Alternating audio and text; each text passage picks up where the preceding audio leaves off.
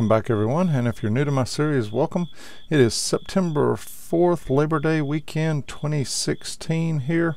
I apologize for my raspy voice. I'm going on about uh, three maybe four at the most hours of sleep for the last four days. Um, been attending the Shelby Ham Fest in Shelby North Carolina each day and uh, the lack of sleep is catching up with me. But let's dive on in and uh, get to question number one here um, question one, uh, service work and timing is what I titled it, and you had someone here respond to my my audio research SP3 restoration part one, which by the way, part two is coming soon.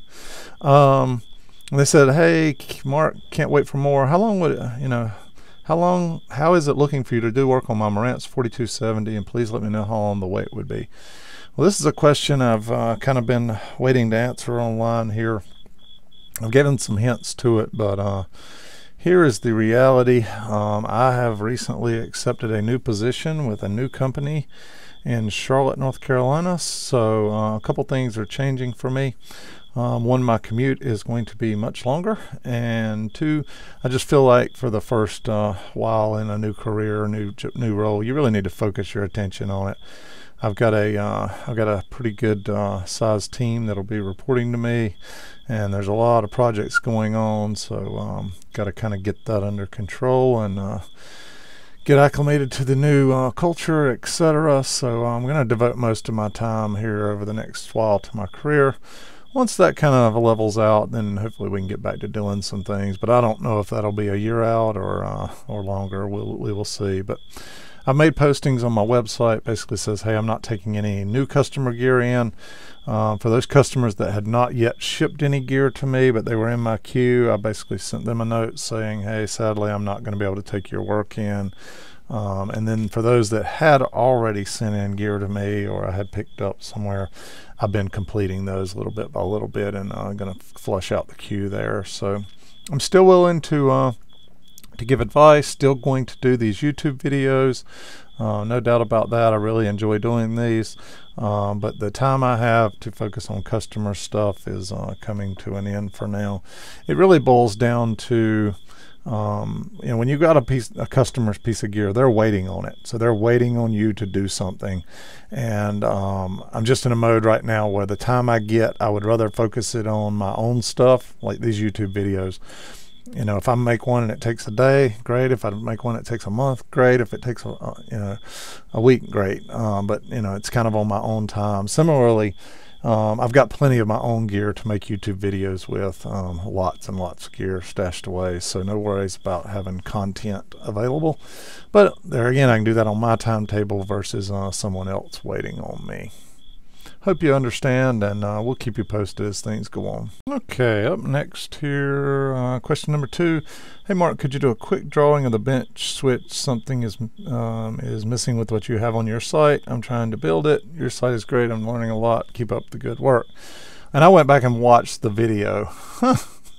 um, apparently I did some ugly cropping or, or the video did something. Um, when I put it on YouTube and it kind of squished up my, my graphics. So here is the full-blown picture. And if you go to my website, www.blueglow.net, um, under diagrams, I've created a new little section there. I think I called diagrams and info or something like that. It, um, it will actually uh, show you this picture, but you can kind of get a feel here for, um, you know, this is the uh, switch itself right here. It was an old um, uh, video switch that I picked up at a Hamfest, and I, it just happened to have about 10 BNC connections on the front of it. And I thought, wow, that's a great looking uh, device. And I gutted it. I stripped all the electronics out of the inside of it, and I just used the chassis itself. But um, as you can see, um, you know, the way this kind of works over here, you got your stereo, the left channel, right channel. They kind of come into a terminal block. And this, this little dotted line all the way around right here, this is kind of what's inside of the uh, chassis that this uh, um, the BNC connectors are on. So there's a terminal block inside here, and then on the other side of this terminal block, and, and basically I, this is just where the uh, speaker wires go to. Coming out the other side of it, you've kind of got the uh, single post, single throw switch, which um, lets you choose between left or right channel here, and ultimately it sends all that same signal to all 10 of these. One has a little divider network here. It's just a 1 to 10 divider network. I think I used a 10K resistor and a 100K resistor here to do a little divider network on the center pole of that one. And I feed that one out to the oscilloscope. Um, you know, I also feed out of this into the HP 3582 spectrum analyzer. I feed out of this into the uh, 8903B um, audio analyzer. And, uh, you know, you also feed out of the other side of that to the phono jack, which is driving the stereo that then ultimately drives the speakers. Um, and then I've got a switch here uh, off of each of these that's dual post, dual throw that chooses between the speakers um, that I have up on the bench here or an 8 ohm dummy load. And these are 250 watt 1% Dale resistors that are mounted inside of this chassis basically. Um, that's the short and narrow of it. Um, if you got more questions about it, I can try to send you some pictures of the inside of it or give you more details. But it's pretty simple setup, uh, not a ton going on there. Okay, up next we had a question here. Just wanted to say thanks for the fantastic videos on YouTube. I'm a lifetime learner like yourself. Built some, built some guitar amps, getting into hi-fi, etc. Um, Love to see a video where you discuss some of the different capacitors on the market at different price points, which ones you like for hi-fi, which ones you don't, and why. Maybe address which points in the signal merit spending a little more, etc. Okay, I'm about to um, approach the second, if not the first, most controversial topic in hi-fi these days, and that is uh, capacitor types. Uh, the other competing for first place would be tube types. So uh, let's dive on in and uh, talk about this one a little bit. Okay, uh, just like I said, this is going to draw some debate. So I'm just telling you what I do and what I like.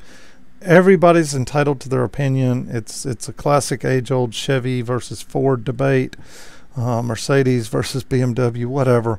Um, everybody's entitled their opinion, so this is my opinion. I think the best value for the dollar in the uh, hi-fi field right now, they're not dirt cheap, but they're very affordable are the orange drops, um, either the uh, you know the 914Ps, the 915Ps, or Tubes and More, um, otherwise known as Antique Electronic Supply. They've kind of got a house brand of orange drops that are an incredible price point, and I've had great success with those. So check them out. Um, I think they're they're great. Um, up next would be uh, all the versions here of the um, Russian paper and oil capacitors. I think they're uh, they're just great capacitors for the money. Um, you know, these things, th these orange drops are anywhere from a dollar to three dollars a piece. These you'll start to get into maybe two to five dollars a piece on the uh, paper and oil. Some some of them, depending on the values, could get on up towards ten dollars a piece. But but either way, I mean, you're building an amp. You know, if you put thirty or forty dollars in capacitors in it, you've probably not broken the bank. And I also like the Solen brand. Um, you know, for the money, these things get into the anywhere from three to about eight dollars a piece. Um, you know, there again, you're doing a doing a unit. Uh, you're not going to break the bank uh, going down this path.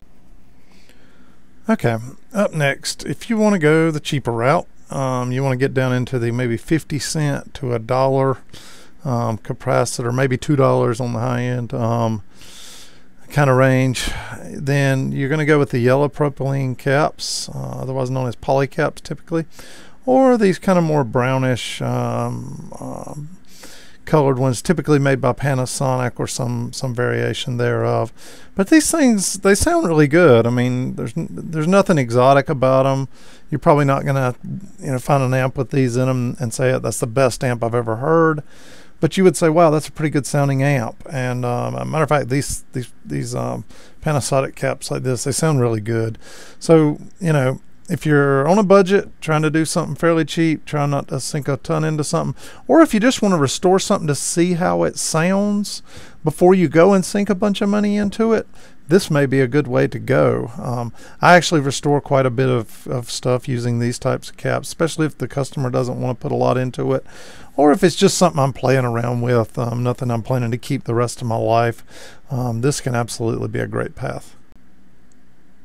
And last on the set of caps that I like to use, you know, if you want to get up into the maybe $8 a cap to maybe $15 a cap range, maybe this is something you're wanting to keep long term and uh, whatnot. I think the Aria caps are really good caps. There's a couple different versions of these, but I think they make some really good um, um, really clean sounding capacitors. And I also think Audyn makes some pretty good capacitors. Um, you get these from Parts Express fairly inexpensively. It's a company that mostly makes caps for uh, crossovers and whatnot, speakers, but they also make some, you know, some really great, uh, you know, same caps can be used in high-end gear. And um, so check those out. Not a bad deal on some of these. Some of these, when I've used them, like these Audyn Cap Pluses here, they'll get up in the maybe $10 range or whatnot. But um, I've seen some uh, some popular guitar, uh, I mean, uh, popular amplifier manufacturers using these. I started trying them in a couple things, and I've I've enjoyed them myself. So uh, it's a good path to go. I'm not going to show you any more caps because anything beyond this is just my personal opinion. You're you're starting to spend a lot of money for maybe marginal, if, if if not negligible gain. In other words, the point of diminishing return kicks in. You know, I've seen everything from V caps, which those things can get up into a hundred dollars a capacitor, um, black gates, etc., etc. These things just get crazy money wise. And I'm not saying they're they don't sound better or maybe they they aren't uh, extremely pure, purely made or whatnot. I'm just saying the point of you know being able to notice it with your ears and um, versus you know the money you spend is, is sometimes questionable. It's almost like the placebo effect. You spend hundred dollars on capacitors, and your amp sounds amazing to you, but um, you know then you find out, oh gosh, they haven't put them in the amp yet, and you're like, oh. So it's just one of those things. Uh, this is about the top end I would go right here personally. Okay, next quest, part of the guy's question was, hey, which ones are worth replacing in an amplifier? Um, what should I look for? Well, first off, you want to follow the signal path, and that's where you want to stick these uh, uh, better quality coupling caps. So signal comes into the RCA jack here, flows in here uh, through the grid resistor into this um, into the grid of this one half of the 6SL7 it then gets um, amplified, comes out the plate side of that, and goes over here into the second stage where it feeds over and into the grid of this half of the 6SL7. Well, why do you need a coupling cap? Why couldn't you just run a straight wire right there? Then you wouldn't have anything affecting the tone in that signal. Um, because that's what capacitors start to do. They start to shape, just in the slightest way, the uh, the um, characteristics of the signal flowing through the amplifier. Because remember, it's a uh, reactive component, right? It's not a pure wire. Uh, it's not a resistive component, it's a reactive, uh, inductors and capacitors. And so they start to, in some way, shape, or form, shape the uh, signal flowing through. So you're trying to minimize that by using good quality capacitors, right? Um, but you've also got to have this thing here to separate this stage from this stage because there's about 300 probably 20 40 maybe even 60 360 volts sitting on the plate right here of this 6v6 well if you had a straight wire then you're basically that voltage would flow over here over a little resistor maybe get dropped a little bit and go into the grid of this half of the 6SL7, basically uh, lighting it up like a firecracker, uh, probably glow red really quick and burn the grid up, and this tube would be useless at that point in time. So you got to be able to separate that, um, block the DC. That's what capacitor coupling capacitors do. So the DC does not flow through here. So theoretically, right here, you could have zero potential, you know, volts of DC. Something else in the circuit may be feeding it some voltage right there, but not coming from this side of the circuit but they allow AC to flow through them. But you want your AC to flow through and not get shaped by the capacitor. So use good quality coupling capacitors. Signal flows into here, it then comes through the grid, makes it out the plate here, starts headed down this way, right? However, this is a push-pull amplifier and you need both halves of the signal, both the positive half and the negative half of the signal. So this signal actually um, flows on the other side of this coupling capacitor back down through makes it I'm sorry right here makes it back over comes back in and then gets into this half of another S6SL7 same thing the other half of the signal gets amplified sent back up and then gets shot down through here.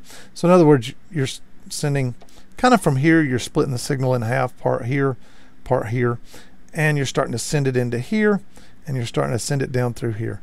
So you got to have coupling caps put them in here, put good ones in here. It feeds then into the grid here of this tube. Then uh, it gets amplified. The signal comes out the plate, goes through the output transformer, gets inducted over to the other side of the transformer, feeds the speaker wires, and moves the coil in your speaker. That's how this amplifier works.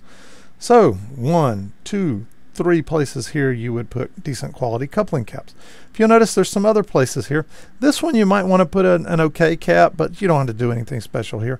This is the feedback circuit. It's grabbing a little bit of the signal from the output, sending it back across and feeding it back into the input here on the cathodes of both of these tubes. So you could use something maybe like one of those yellow poly caps here or one of the brown Panasonic poly caps right here. Um, wouldn't have to go high end. I would go a little bit higher end right here and here and here. You know, there's other capacitors here. This, these are the uh, cathode bypass caps here. There's another one right here feeding off the cathode, you know, parallel with the cathode resistor right here. Um, you don't have, these are electrolytics, so you wouldn't use uh, coupling caps in those cases. And there may be a few other places in an amplifier, like in the power supply, where you would see a, um, you know, a non-electrolytic type capacitor uh, for noise or whatnot. You can typically get by with using something uh, on the lower end, like the yellow poly caps or the uh, the brown poly caps and don't have to go high in there. Hope that makes sense and helps you out. If you got more questions about this, I can walk you through it, but that was a, a high level walkthrough of where you might would want to use uh, a little bit higher quality coupling caps. Okay, a simple question here, but a little bit tough answer. This is one of the questions I get the most. It's got to be in my top three number of questions I get, and here's two of them I got in about one week. Really enjoy your videos. I have a favor to ask. Plan on doing what you do to a Marantz 2270 phono board. Do you have the parts list, and can you name where you purchased them from? I had a hard time finding the right parts. I was looking on Mouser, but they have so many it's confusing. Up next, my name is Roberto, located so and so. Have a Kenwood KA5002. Um, could you sell me a cap kit for that? So, uh, sadly, um, I don't sell cap kits and I don't make a parts list. Um, it's not what you want to hear I put here. Um, but I don't maintain a parts list. What I do um, is I open a unit, I pull out a part, I look in my box of um, spare parts and I put one back in that matches it. I kind of do a like for like swap out and I can do that because I built up a pretty extensive inventory of parts over time. And anytime I, um, you know, run into something I don't have, I don't just order one. I'll order 10 or 12. So the next time I need one of those, I've got it. Um, so I've never built a parts list and I probably won't unless I find some time in my retirement. I will agree with you that Mouser and such are complicated. Just take your time. Here, here's the hint I would give you. Jump on the forums. Um, both of these questions that people sent me right here, if they had posted these things somewhere like one of these sites here, uh, DIY Audio, Audio Karma, DIY Tube, those are the three I hang out on the most. Um, somebody would have answered your question on there. I'll guarantee you, because you don't just have one. When you send an email to somebody, you have one person looking at your at your question. When you make a post, you may have a hundred people look at your question, and four or five of those may have some answers and some opinions. You may have to shift through a couple opinions to get to get the right answer. But um, hey, and I may even respond on there. But the good thing about that then is other people can see your question, and other people can um, can get value from the answers that people post. I would also tell you search these sites um, for um, what you're looking for. The answer may very well already be there. I use these sites every single day. If I'm rebuilding a phono board or something in a unit I've never worked on before, there's no way I'm flying into that blind. I'm going to these sites, I'm Googling, I'm searching, um, you know, I'm looking to see what experiences other people have ran into because um, you know, every once in a while you'll find something where somebody like, "Hey, the circuit board was marked wrong in this case. Instead of the positive being on the top and the negative on the bottom, it's actually the other way around. But they printed the circuit board um, in error. So be careful when you're replacing that thing." Well, I would probably not have caught that. Um, but so so take your time, use some of these great sources, and um, kind of go from there. I, you know, the thought around um, kind of building up a parts list and or uh, you know, I can promise you, if I go to the extent of building a parts list, I'm going to drop some items in a bag, seal it up, put it on eBay, and offer it for sale. But that's not happening anytime in the next 10 years. Maybe, maybe when I hit retirement, I just don't have the time um, um, to do those types of things these days. I wish I did. Next question, someone's basically saying, hey, I know the Tektronix 576 uh, is a curve tracer made for tubes. By the way, those things are extremely rare these days. They're like anywhere from three to five thousand dollars. Um, but I also know the Tektronix 577, which is made for transistors, looks just like it. Could it be used for tubes? Um, and um, I will tell you that I have seen that done before. There is some, used to be someone that made kind of an adapter uh, kit, maybe provided the high voltage, whatnot. I'm not sure but that allowed that to happen. Um, I actually know a guy that may have one, so I will ask him about it next time I see him, but I'm not sure when that'll be. By the way, I love your little Sleestak um, avatar here. But what I would tell you is um, if you're interested in a tube curve tracer, go check out the guys at um, uh, MicroTracer. Uh, a huge website with a huge following, got its own little forum group going um, out there. Lots of user submitted stuff, but it's basically a little board here, and then you had to build your own box with your own tube sockets and whatnot to. Uh, to allow for the tracer to work, but um, it's kind of a DIY kit. They're about $240, I think, shipped to the United States. Uh, so not doesn't break the bank. You might spend another hundred or two building a nice box with uh, tube sockets and whatnot, but check it out. I have been wanting to do one for a long time. I just have not had the time, but when I do, I'm going to jump on one myself. All right, next question here. Someone sent me a uh, a thing.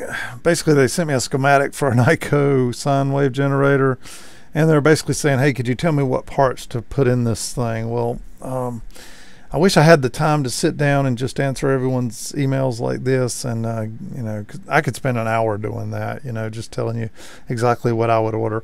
You know, part of, uh, you know, working on something uh, isn't actually sitting down with your hands in the unit with a soldering iron and whatnot. Most of the time I spend when I'm working on something is um, over on my PC searching for what other people have done, things to watch out for um, searching for part values, schematics, um, service manuals, etc. So you know that's typically billable time, and um, you know I could easily sink an hour into this. What I what I will tell you here is just kind of kind of do it like um, like for like. Anywhere there is an electrolytic, read the value on it, put an electrolytic with the same value back in place or something close to that value. Make sure the voltage is that value or higher and make sure the capacitance is that value or maybe slightly higher. You can go up a little bit without any worries in most cases. Anytime you need a coupling cap, anytime you see any old um, paper in wax caps, uh, wax, wax wrap paper caps or whatnot, just use some good yellow, yellow poly or orange drop caps and you'll be good. If you get into it and get stuck and uh, want to, you know, uh, want a little bit of help, I can try try to, but I just don't have the time to walk through schematics and build parts lists for people. It's kind of back to the previous question. Kind of wish I did, but I don't. Alright, I'm sorry for all the negative answers here. I'm feeling like I'm on a little bit of a negative power trip, but it's not my intent. Just what I'm trying to do is hit off some of the questions I get over and over. I'll probably get this question right here. Can you service my reel-to-reel -reel unit? Um, probably once a week or so. And um, let me give you the short and narrow of reel-to-reel -reel units. First off, if you've got a reel-to-reel -reel unit and it's old and hasn't been used in years, go search on eBay and see what one of them brings, one, uh, one that is in working condition. If it's not $200 or more, it may be questionable as to whether you want to sink the money into that thing or not. And the reason being is by the time you replace a belt in one of those, maybe a $20 belt, a lot of times the pinch rollers need to be um, replaced, and a lot, for a lot of units, those um, the um, pinch rollers are not available anymore. So you have to send them off to someone and they have to strip off your rubber and they have to custom build new pinch rollers for you. Those are typically about $75 a piece. Um, then you got to clean the unit. You got to align the heads. You got to, um, you know, uh, service and align whatever needs to be done. You got to clean all the potentiometers in the unit. Any rate, you end up typically in a reel-to-reel unit with about four hours worth of labor, typical. Um, it's just com they're complex units. They're not only electrical units, but they're mechanical units as well. So, you know, I, my rates were running at $45 an hour for those. You're at 160 bucks or so. You add into that another 100 $200 worth of parts. All of a sudden, you got a bill up in the $250, $300 range. And then I would have customers say, "Wow, you put that quote together for me, but um, it it costs more than what my unit's worth." The problem is, I would spend 30 minutes putting a quote together for them that ultimately then they would say, no, I'm not going to do it. So I actually quit working on reel to reel units a while back myself. I just got out of that business uh, a couple years back.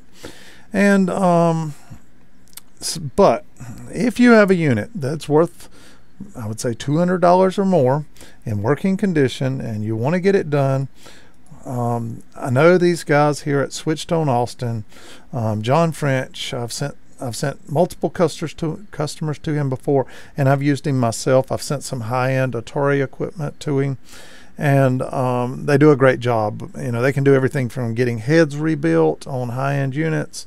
Um, I sent a friend to them recently, and they had a uh, high-end Otari um, eight-track, and um, they sent that thing um, you know, had the whole thing restored. You know, you can get into a lot of money, but you might be restoring a unit that you know new is ten or fifteen, twenty thousand uh, dollars for the recording studio stuff. But um, these guys can do it all. Um, just reach out to them if you need some real, real stuff done. Uh, but you know, I would I would heed my warning. If your unit's not worth two, three hundred dollars or more um, in used condition, it may or may not be worth um, getting serviced because uh, kind of pricey to do so. And for question eight, JBL L100 potentiometer cleaning. Somebody said, I just finished watching your YouTube on the JBL, JBL L100 binding post, woofer replacement, excellent information. He's got a set. He would like to uh, clean the potentiometers. Any recommendations before he takes out the woofer? Don't want to ruin that foil label around the um, brilliance and, and presence pops, pots. If I do need to take out the woofer, I might as well restore the caps as well in there. Any recommendations? Well, I got good news and I got bad. First off, um, two, if you look on the right, these are what the boards look like in a um, JBL L100. So you can get up in there if you're tricky. and on the side of the pot over here where I'm pointing to right there and right here, you can get some deoxit in there and turn your uh, brilliance um, and presence knob and um, clean these things. It, takes some maneuvering. You might have to uh, use a little red uh, nozzle on your deoxit thing and bend it around a little bit, but you can get up in there and clean these pots without that. But if you're wanting to replace these caps, probably not. Um, you're going to have to pull the um, the boards out, and if you'll notice, there are four screws right here. And if you look at the front of your speaker, one screw is here, one screw is here, one screw is here. Sadly, the fourth one sits right underneath your foil label right here. So you're not getting these boards out without removing that foil. You can use a hair dryer and pull these off. Uh, when you pull them off, stick them on a piece of glass um, flat, then put another piece of glass on top of that. Um, and then continue to heat it a little bit and it'll uh, kind of flatten out a little bit and stay that way. And then when you get ready to put it back on you have to epoxy the things back on. And usually they turn out pretty well or you can buy some replacement ones on ebay typically or online. You can search for them uh, but they won't have the serial numbers on them but i would tell you they will never look the same identical as when they go back on as they did before they were ever pulled off. May have a little wrinkle here or there, you can tell, but um, from two feet away they start to uh, they start to look fine. Just if you get up close on them, you can probably tell. But so I hope that answers your question. Um, good. Yes, you can clean the pots. Bad. Replacing these caps, you're going to have to pull the boards. Hope that helped. All right, here's a question um, right up my alley. Basically, tube blue glow question. Got a Fisher 500C. Basically, what they're saying is, I want to replace the power tubes, and I want some that glow blue, that have the nice blue aesthetic glowing. And which ones are those, and that, but yet still sound good? Well, that's a complicated question. Um, if you go on my site, www.blueglow.net, under sketches and info, there's a long post I made that answers your question about what may cause this blue glow in two tubes. There's a couple different reasons for it. Some are good and, and fine. Others are not. You're going to want to replace the tube if you're running into those. But as you can see here, it's a fluorescence glow. It's caused by uh, minor impurities such as cobalt, other things within the environment, um, within their inert gases, that slight traces that may still be in there. And what I've found is it's not consistent. I've bought like pairs of Gold Lion KT88s, put them in an amplifier, for some, you know, and they glowed blue. And then I had, you know, a friend over and saw them and said, "Whoa, I really like how those glow blue. I want to order a set of them." They would order a set, you know, maybe produced at a different time, different batch. They'd get them and they didn't glow quite as blue, you know, a little disappointing. But um, it's kind of hit or miss, and I wish I had a list because I would I would put them in every single amplifier I have, but it's just not the case. So um, if anybody finds any differently, let me know. I would I would love to have uh, and welcome some other opinions on this topic. Um, but that's a great article if you go read that out on my website. I'll give you some good info on it. All right, as of late, this has been one of my top few questions. Got to be in the top three as of late. Um, because I posted a lot of this. I watched your Scott series and you used a tubing to protect the wire leads, basically the little PTFE tubing. Can you point me in the right direction to order some? Well, I've gotten this question three times in the last week. I promise you. Uh, here's the thing. This is where I get mine on eBay. Find the seller. It's a top underscore authentic underscore auction. They're not from the U.S. No association to me. It's just where uh, where I've been ordering them from. Then you can do a drop down and you can pick the color: yellow, clear, blue, red, black, whatnot.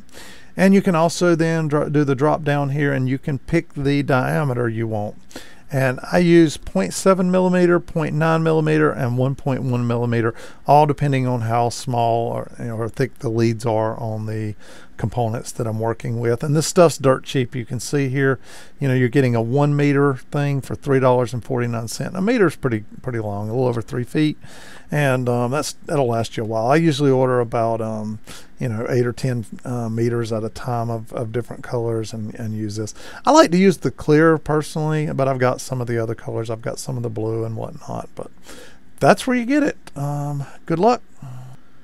And up next, um, somebody has a TV7 tube testing question. Somebody said, Hey, recently I got a TV7C and I'm trying to test some tubes here, but they're not in the TV7 manual. What can I do? Um, Said the test book um, only gives minimum values, but like to know what a new tube would be. That's one question they had. Second question was they couldn't find a value for one of these.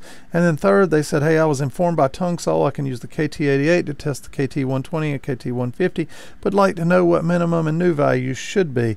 Well, there's a little bit of, uh, you're going to have to do a little bit of work on this. First off, you're going to want to jump over and uh, there is a GM conversion chart and here's a link to it or you can type in Google TV7 GM conversion chart hit enter and it will take you to this link.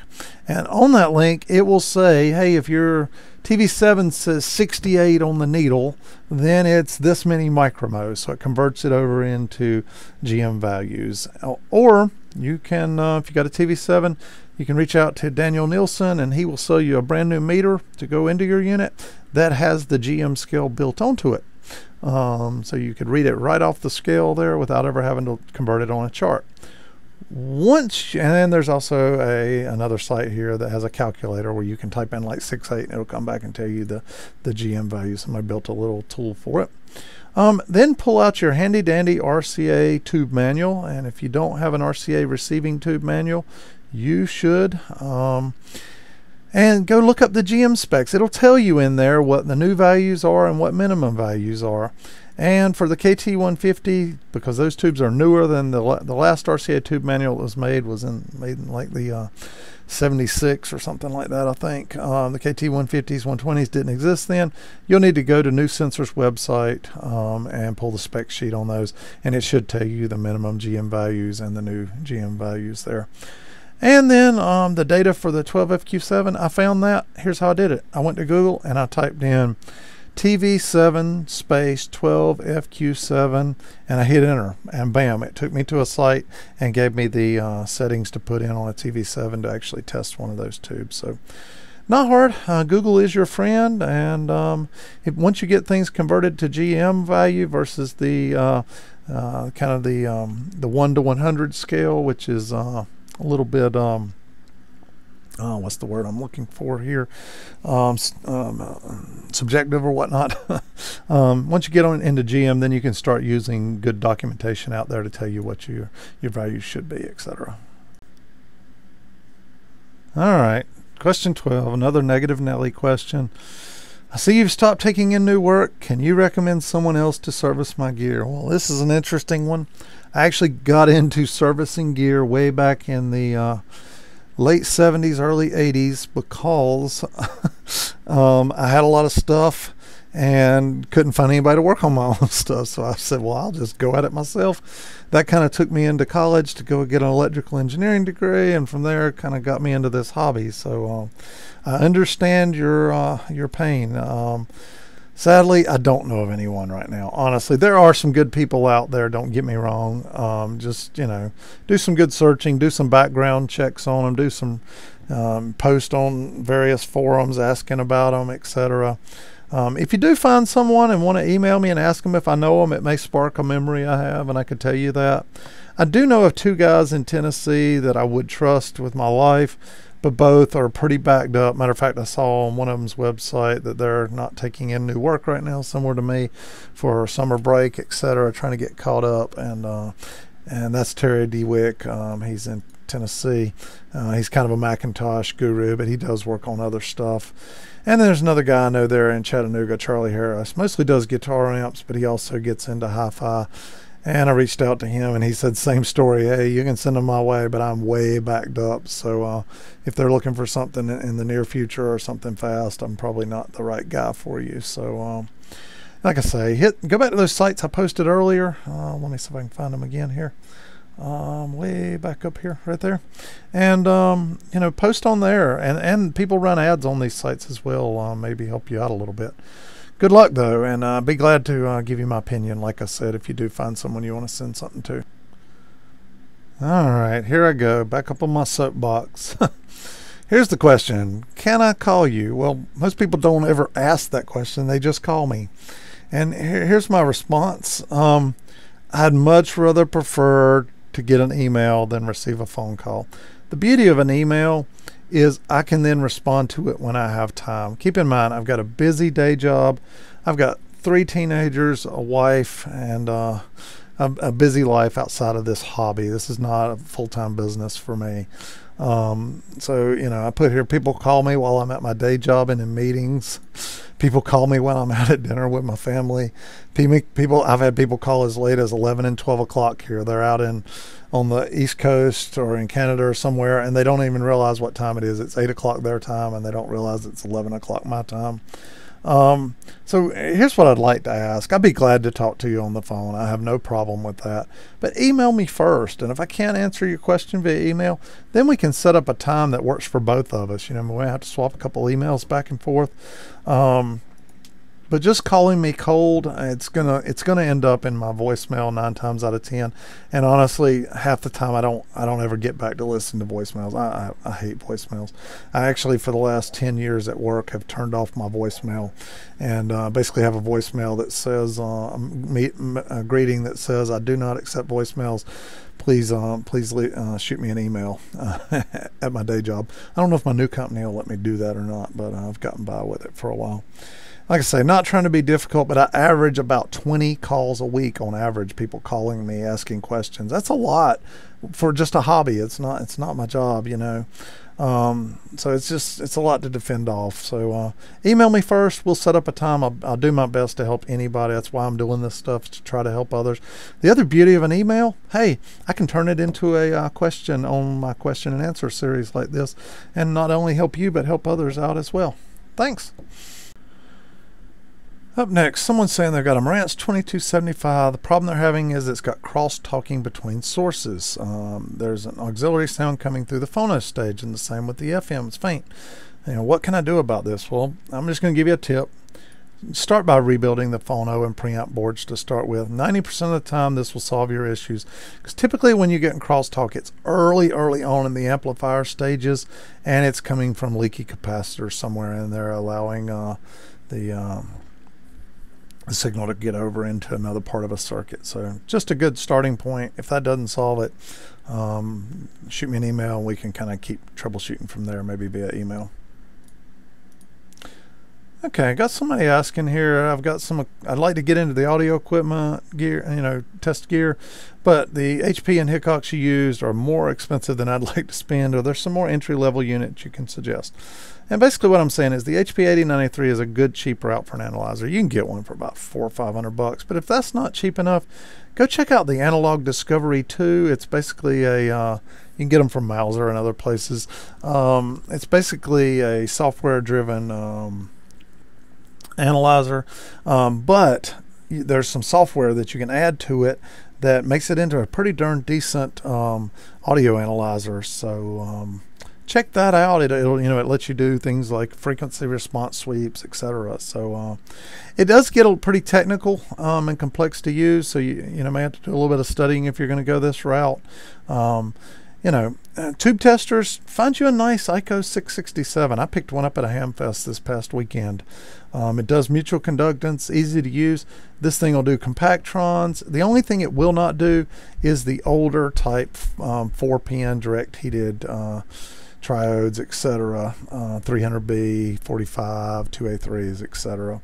Um, However, there is a model called the 666 that will do those, but it does not do the Compactron. So uh, if I was going to pick one, I'd go this route. You can get one for about 200 bucks. Great little tube tester. It does do mutual uh, conductance, and there are spreadsheets available online with many more tube types that come then come in the little booklet that typically came with that thing. So great little route uh, for what you need. And like I say, this Analog Discovery 2. I think it can also do some spectrum analyzer type stuff. So uh, not a bad route if you can get into that for $279 and maybe do what I'm doing with both the uh, the audio analyzer and the uh, spectrum analyzer there in one unit. And up next, hey, this wasn't really a uh, question, but this was something that someone sent me. They said, look at this. This may be what you need. They had seen in one of my videos when I rebuilt that Marantz rack mount setup that I have, that the uh, the scope in it um, on the tuner, I was missing a knob, and they actually saw out here where there was a, uh, a vertical scope horizontal control knob for a Marantz 20, and I ordered that thing. Uh, it was 15 bucks with six dollars shipping. It showed up two days later, and I've got it sit here in front of me right now. So I just wanted to say thank you to Larry for uh, putting giving me that tip. I was glad to find it, and uh, may have never found another one because those things are extremely rare. I almost started to order the other one just to have it as a spare, but then I thought, gosh, somebody else out there may be looking for one just like me, and I didn't want to hoard it up. So uh, there again, thanks, Larry. Appreciate it. And I just got this one in the last day or so. Hope um, question. Hope this this was a reply to the Audio Tube Amp 101 series. Hope this series picks it up again. It's helped me immensely. Thanks for doing it. And the answer to my question to that question is yes. Hopefully this winter when it's too cold and I'm snowed in or whatever and I'm just stuck in the house for long weekends and it's uh, dark outside, you know, when I leave for work and dark outside when I get home from work uh, not much else to do. I hope to get back to this series, uh, or that's my intent anyway. I enjoyed making it, and I've got a lot more to do, so um, I, I do plan on continuing that. Just stay tuned. Okay, just got this question in the last week. I saw your YouTube video on the Pioneer um, SX850. Had his a long time. Uh, turned it on last week. Have FM, no FM sound, but can listen to AM stations. Any ideas what wrong? What's wrong? And my initial email back to the individual was, hey, could be a lot of things there. It could be a bad cap. Um, you know, just a lot of things could cause um, the FM section to go out. It, it's it's not like I can point you to one you know, single part and say go replace that and it'll fix it.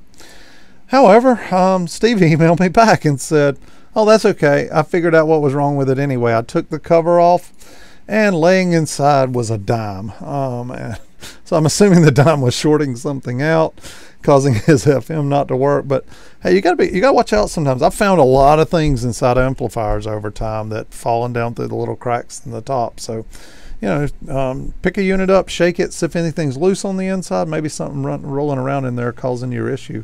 It's not a bad place to start.